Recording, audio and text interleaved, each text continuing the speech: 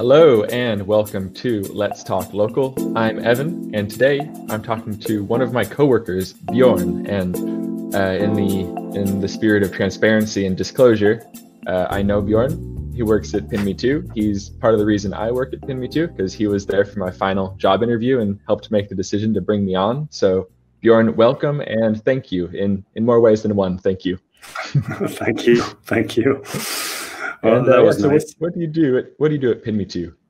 Okay. Uh, thanks, Evan. Um, well, uh, I work in uh, the team called Customer Success, and basically, what we are is we are the uh, the people handling the aftermarket after people have become customers. So there are both there are uh, both specialists that uh, take care of uh, new customers to get them onboarded, in a proper way. Uh, and then there are people that see to it that they, the customers that are up and running, get the full value out of the uh, the, the platform and the services that we provide. So um, it's a little bit of everything, and it's but it's taking care of uh, our wonderful uh, clients and customers. Hmm. And so, in your role here, it sounds like you have um, you're you're with customers along uh, a long period of time, like from when they first start at PinMeTo through uh, as they continue to develop their their yeah. uh, skills and, and expertise. And how, how do you see them, like how do you see the, the typical customer growing and learning over time? Well, also I like to mention I've been at PinMeTo for a couple of years now. So, and I've done uh, a few, been in a few other departments as well. So, mm-hmm. I, I, have a sort of decent insight into both the sort of pre uh, process before they become a customer, but also afterward. Uh, you were on the marketing team when. Yeah, and that's why you hired me. yeah, yeah. Uh, well, it's it's a quick growing company, and uh, over the years I've done a little bit of everything.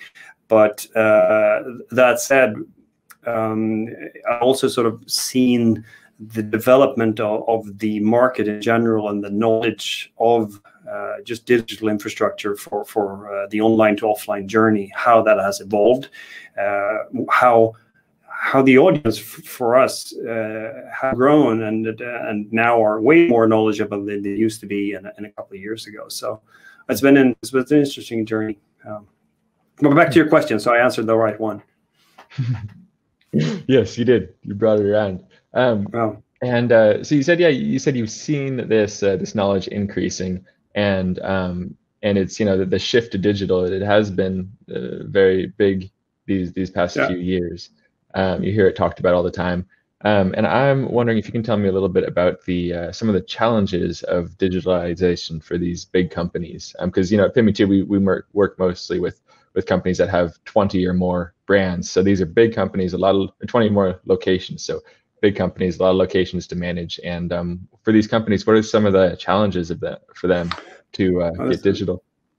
A good question. Um, well, yeah, as you mentioned, we work with with multi-location businesses, and they are uh, by by uh, just naturally uh, not small organizations. They are, I, I used to usually think them as between medium and huge. And uh, and uh, what we do mainly uh, revolves around the marketing department or the marketing side of things, basically. and the digitalization in marketing efforts over the last, I would say, 10 years, a lot of things have happened there. Um, and uh, and is happening as we speak. But that said, there's also the sort of the old school way of thinking. Um, and if if you find a, a, uh, a marketing department that is very focused on their their brand, uh, their their campaigns, uh, that sort of thing, it might be that. Uh, getting down in down and dirty in the numbers and the, and the sort of the digital side of things might be almost a thing that the head of marketing doesn't want to do they want to be thinking about i'm generalizing now but they want to be thinking about their next super bowl commercial that mm. sort of thing because they're they're trying right. to build their brand sexier yeah uh, and they I mean, they they I'm, I'm i'm overstating a little bit because they of course understand the importance of of having good data and knowing uh, how to find your audience that type of thing but um, it, it, it might be that they think of the digital infrastructure underneath as sort of an hiding factor uh, and don't really realize if we don't work with it, the cool Super Bowl commercial that we're going to do, we won't get the full value of it unless we have uh, sort of tied the knots together underneath. Um, so I think that's a fairly common challenge that, that these organizations have. Um, mm-hmm. Yeah, just generally speaking. Yeah, and, and actually, I just want to um, to specify a bit because we've been talking about digitalization, but but uh, can you tell tell us about what specifically like becoming more digital or digitalizing means for these brands? Like, yeah. Okay. So first of all, we, we should maybe mention that since we work for PinMeTo, the the part of this that we work with is uh, the online to offline journey to fix mm. uh, the data underneath there. So regardless of if a customer uses likes Google Maps or likes some other uh, um, tool or or, uh, or application, uh, they can use mm. that. And regardless, doesn't really matter. The customer journey should just work. Um, but it, I've, I've previously, like my, my previous jobs, worked with uh, within web and uh, the digital side of things since uh, the last millennia now. So it's, it's been a while, uh, and, and, the the issues and the problems that companies have are, are very very similar. Um, they uh, and and one thing I think that people do a lot is they, uh, they get really really caught up in in features or they get really caught up with their competitors are doing and they have sort of a, a an unclear view of their own goals hmm. um, so um, but but that's I see the other way. I see it the other way around too. Maybe they have some some clear goals, but they don't really know what's out there, what's possible to do. So uh, it's, it, it varies quite a bit. Mm. Mm. And, and, when you talk about the online to offline journey, which you mentioned, um, yeah. Can can you uh, explain that for people that might not be familiar with with what that is? Absolutely. Let's break it down. It's it's pretty simple. Um, uh, I, uh, I, I usually have this story to tell. Say you step off a train somewhere in a city that you don't know, and you realize you're going to stay there for a couple of days, uh, and you realize you have forgotten something, like uh, you didn't bring toothpaste or, or uh, socks or something. That's that's missing in your bag right now and you think that stores are going to be closing pretty soon because it's that time of the day and you just want to buy some stuff uh, and there's no one to ask what do you do well most people will say well i'll just pick up my phone and i use my favorite search app or, or a map service of some kind uh, and then okay so how does well, let's say google how does google know what the closing hours are for this particular store and the answer is someone has to tell them, especially if it's uh, hours that deviate from normal or um, uh, that sort of thing. But normal hours too. Someone has to tell them. Uh, and how does Google know the exact longitude and latitude? Uh, how does Google know if if uh, there, there's handicap access or like wheelchair access, that sort of thing? Mm-hmm. Uh, can I pay with Apple Pay? can I can I use credit card? Is it cash only? uh, that sort of thing. All of these things, someone has to tell Google. Um, many times I, I, I, find people think that Google solves this themselves or Apple Maps solves this themselves, but they really don't. Um, they have bought this information or got this information from somewhere. Uh, and then it's been, in, in Google's case, it's been curated somewhat by users, but probably not entirely and probably not completely correct. Uh, so there's going to be uh, a story about your location, uh, and unless you, as a business owner, take control of that, it's it's going to be more or less wrong, and that might cause a online to offline journey that is bad. Um, where we sure, want to happen. I'm sure. Yeah, yeah, I'm sure most of our listeners have had this experience with with a yeah, bad you search for, online journey. You, you search for something, you go there, it's not there that's not fun. Right. Or you go you go there and the door you you expected the door to be open but it's closed. So mm. uh, and that's that's that's not good for for many reasons. First of all, if you're the business owner, you won't get uh, the revenue. That's the most obvious one, and you you also might get a disgruntled customer that you will never win back.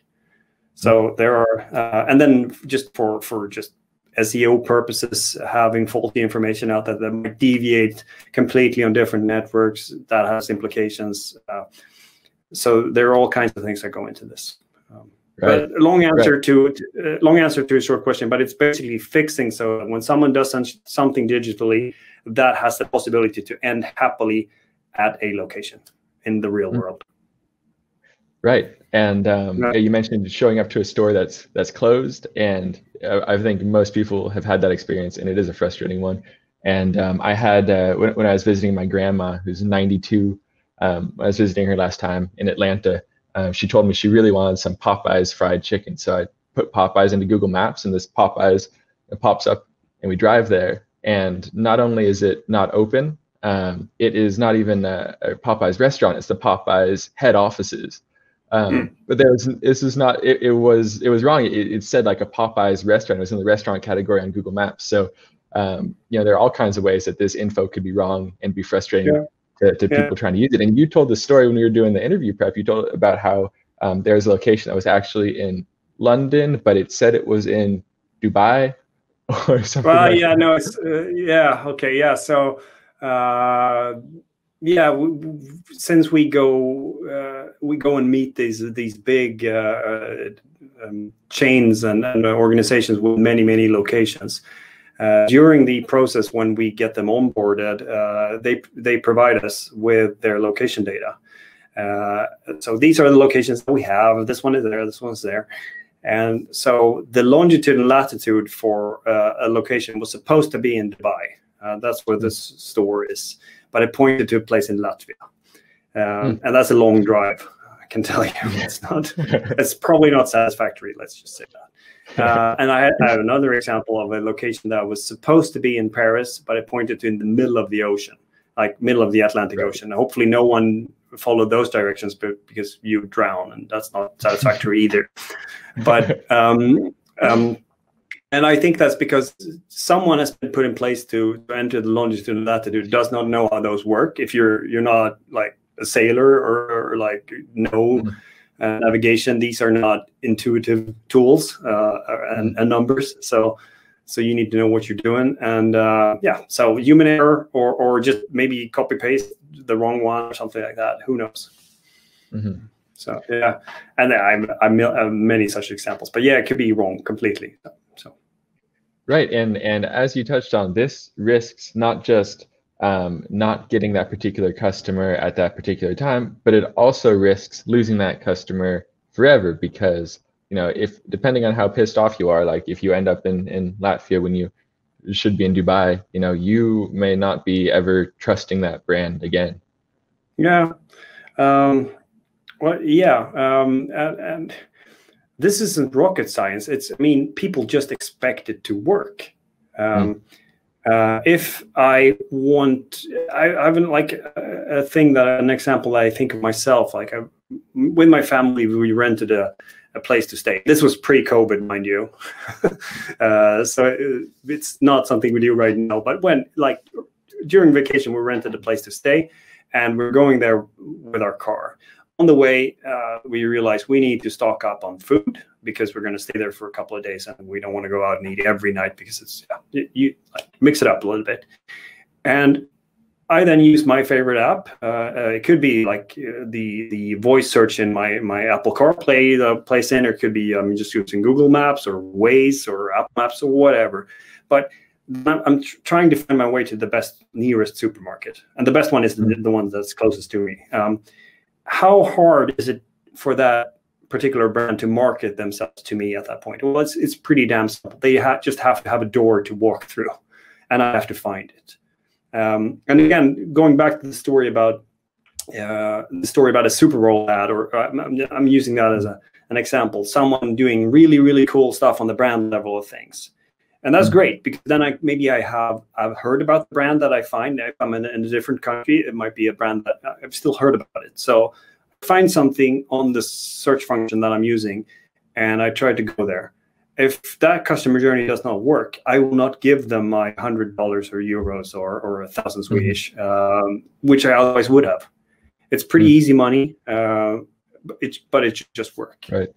So. Um, yeah, that's just one part of it. And what we do, I mean, we digitalize this part of things, uh, but the issues and the problems that companies have, they are similar in, in other kinds types of projects that in, in, those similar areas. It doesn't need necessarily need to be about location marketing and so local SEO and all those types of things that we work with. It could be a little bit of everything. It's just um, the challenges are, are, are very very similar. And we've mm-hmm. both given a few examples of, of why the these are important, um, why it's important to have this data accurate, and um, and of course we're a little biased. We work at a company that helps. Yeah, yeah, of course we're, we're, we're tooting our own horn, or of course we are. But uh, I just I, I point out that you could use uh, these experiences for other things as well. Um, um, so uh, just think about the simple basic stuff underneath before you think about the fancy stuff that's supposed to go on top. Uh, because if you don't have the foundation, you won't get the full effect of, of uh, the shiny stuff. Um, mm. And you probably need to do both. There's nothing wrong with cool and, and, and building a brand. You absolutely have to do that too. But for for it to gain the full effect, you need to to have uh, the infrastructure for people to use, especially in this digital day of age. I mean, and, right. And, yeah. and you touched on that at the beginning. This, this, the the idea that companies are now embracing digitalization. Um, are they are companies understanding the the value of of this online to offline customer journey? Um, or if they don't maybe understand it from the get go, is it is it uh, easy to make that case to them? Do, do they come around to it pretty quick when you show them, when you talk about what we've been talking about? Uh, well, I think um, once we start talking to them, they are fairly understanding uh, and they, they are fairly uh, sort of knowledgeable about it. Uh, but this has evolved over the years. I would say um, first time I heard about this was like 2015 when I started starting working with the local stuff on the level that we do now. And and at that point, I think many customers didn't know about the problem. Mm. Um, they didn't know that they had to supply Apple Maps with their data for it to be correct. Uh, mm. They just thought this is something Apple Maps fixes somehow, right? Magic, magically, uh, or or it's not possible to influence anyway, maybe. Uh, I don't know what their thinking was, but something like that. They didn't even try to to address it.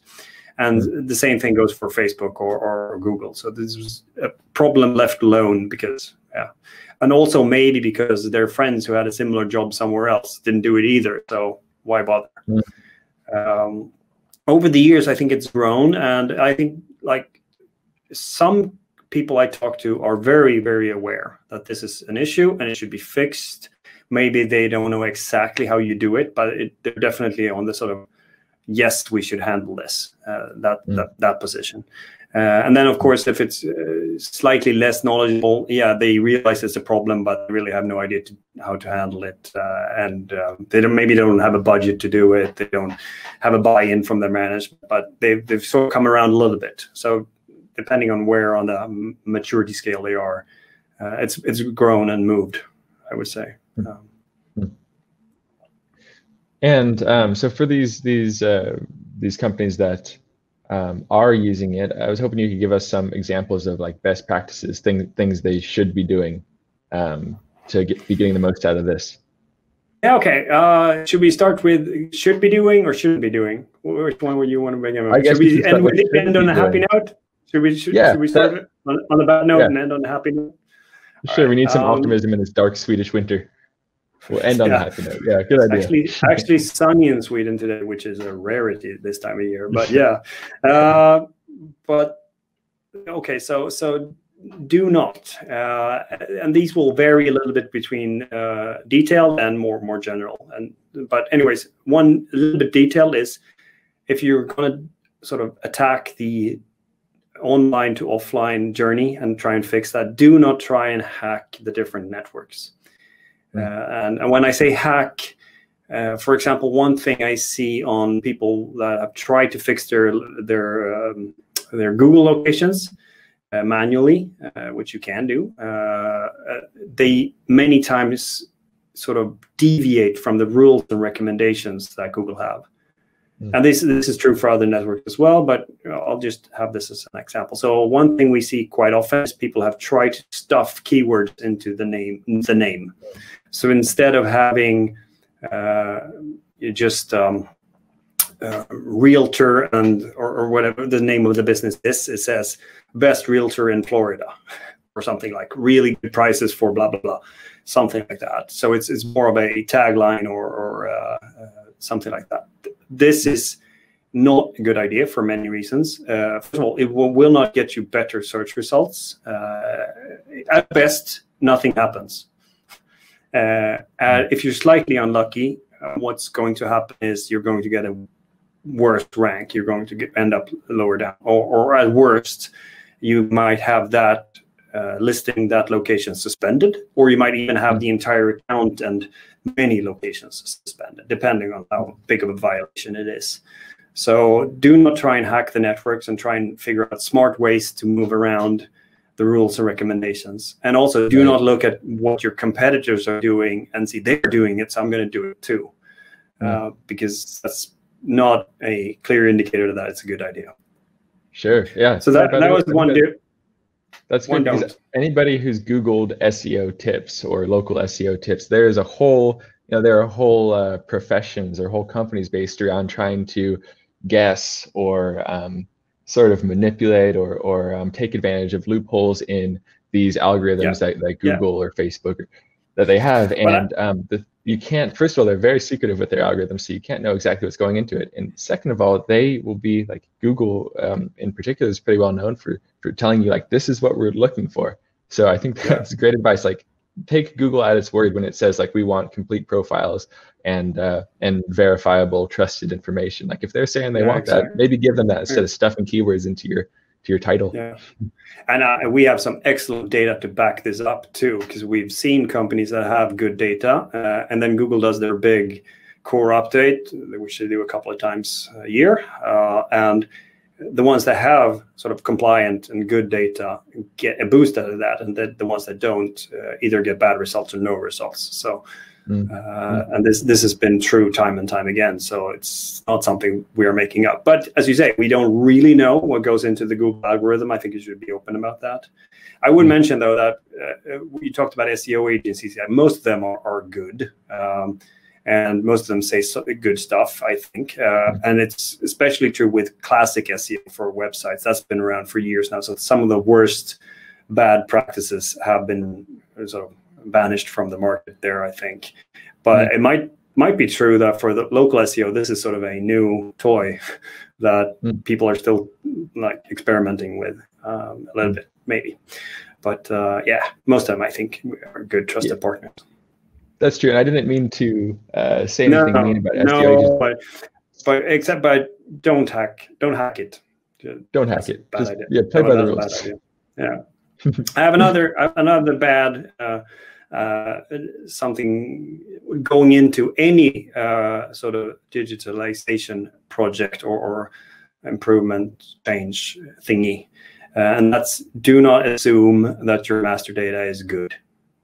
Hmm. Um, uh, because I've seen this many times when we talk to customers and we ask them, so do you do you have good base data that we can start working with? And they say, of course, yes, we do. And then a couple of days or weeks later, we get that data, and it's well, should we say less than perfect, being very very polite, or should I tell you the truth? The truth is it's yeah. somewhere between bad and catastrophic normally.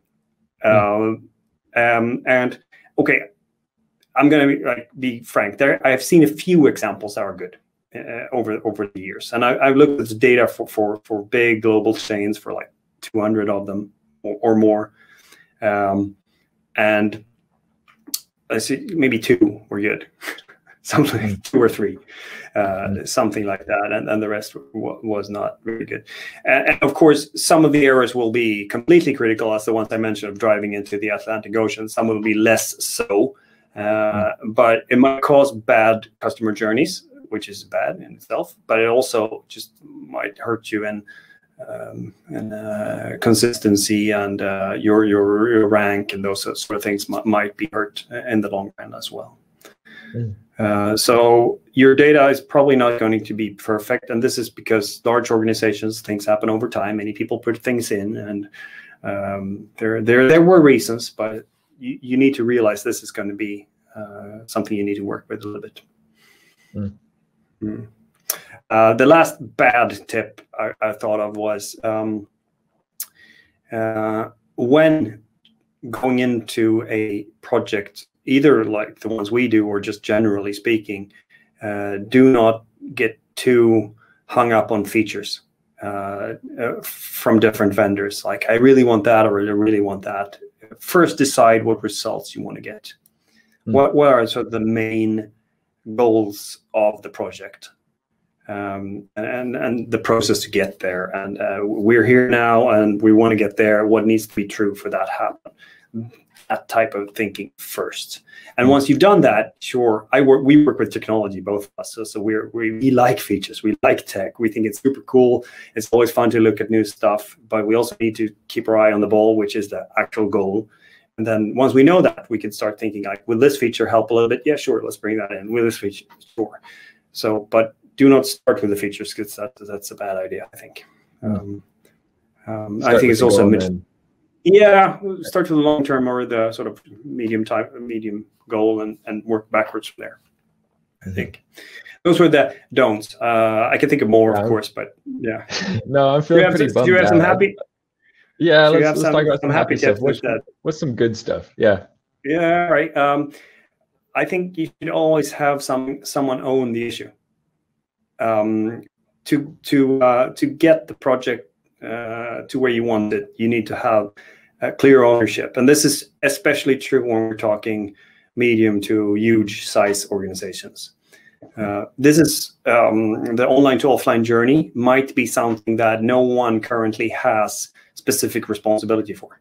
It might be sort of a little bit on marketing, might be a little bit on digital, might be e-commerce a little bit, maybe. Uh, it might be, uh, yeah, depending on how you're organized. Uh, you should have clear ownership of it. Um, I think that's super important. Um, so that's one thing. And when they when people do that, that's a good good good uh, sort of sign that this is going to end happily.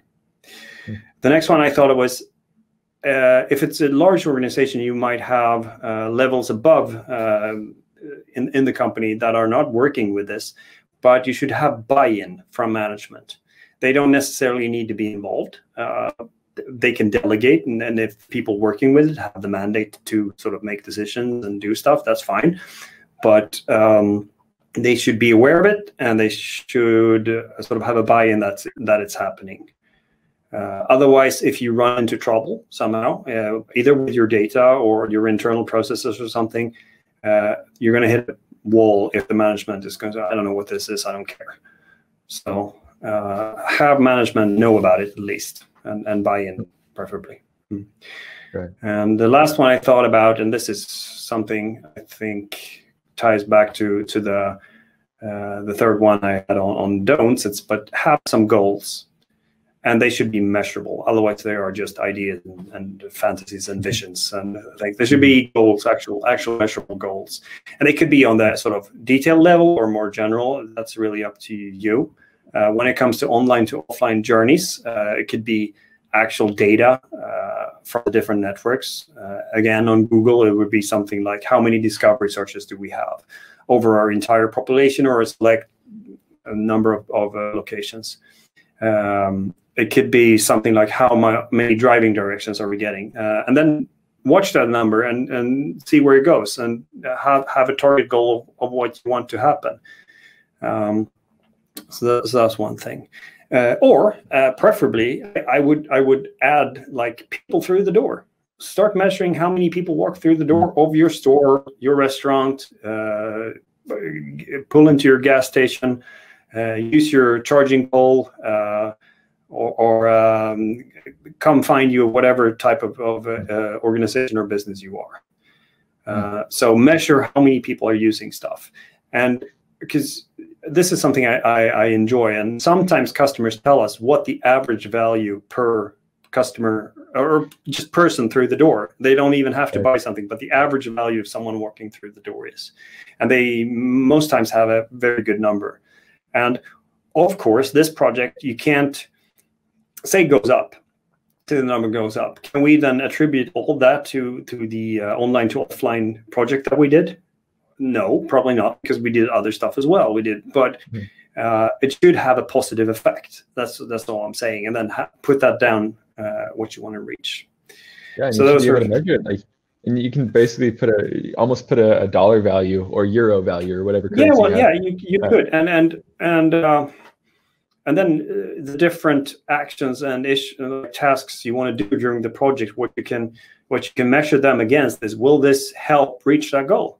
Uh, and if you can only say yes, well, then it's probably a good idea to do it. And if it's no, yeah, skip it. And if it's a maybe, you need to maybe evaluate some more before you decide. So, uh, so yeah, I mean, I'm simplifying, but yeah, have a goal. Have a goal. That's good advice goal. for online, offline marketing, and good advice for life in general. Have a goal. Yeah, did or in, in this case, it's just digitalization, and this is something. I mean, COVID the corona year that we've been living through is interesting because uh, okay for some of our customer uh, that are sort of in the hospitality sector it's been hard to invest in new stuff for obvious reasons but we do have many um, industries that have really taken the chance and put put their processes of digitalization on steroids Mm. Uh, so it seems like a lot of the things that you expected to happen maybe in two or three years or, or is going to happen way sooner. Uh, yeah. and, and, it's of course not only the things we work with; it's e-commerce and other stuff too. But uh, people live in the real world and they want to maybe find a charging pole for their new electric vehicle, and they need to find it. So uh, yeah, that that needs to work. Yeah. Yeah, it, absolutely. That that's uh, we, we made it pretty far without talking about the way COVID impacted the online the the digitalization. Uh, no, it's yeah. But, well, maybe we're we're, we're we've said many things about that over the. I mean, people have talked about it. So yeah, true. But I, mm-hmm. one thing I, I, like to point out, at least when, I, when I'm writing um, our articles and so on, is that that yeah, COVID shifted or sped up this shift to digital, but uh, it's it's not going to go back to the way it was before. Like this this uh, this change, this digitalization push was happening already. So COVID made it happen quicker, but it doesn't mean that it's going to um, necessarily go back to normal, like pre-COVID normal. So that that companies yeah. that are that are digitalizing now, this isn't like a temporary only during COVID kind of measure. This is a this is a change you're making for the future. You're just making it sooner than you're just being forced to make it sooner than maybe you would have otherwise done it. Absolutely. And it's, I mean, people use their cell phones and their smartphones all the time. If you think that's going to change and they st- will stop, yeah, yeah, you probably shouldn't invest so much in, in, in digitalization. But if you if you think it's here to stay, uh, which I think is a good bet, uh, yeah. then then there there's probably opportunities uh, if you do, and there's probably lots of risks if you don't. So um, right. So because competitors are going to do stuff, uh, they are doing stuff. Uh, so what what are you going to do, so so to speak? Uh, well, risks. It sounds like we're drifting back into to negative territory. I think maybe. Oh, sorry, sorry about that. There's an opportunity there. yeah. Well, thank you uh, th- again. Thanks for helping hire me, and uh, thanks for joining today to talk about this uh, digitalization. Yeah, uh, hope my uh, words made some sense, and it's always great to talk to you. Yeah, everyone, you made sense every once in a while. There was some. some every once in a while, thanks. That's excellent. Every once in a while. I like. I like thanks. Thanks for being thanks, here.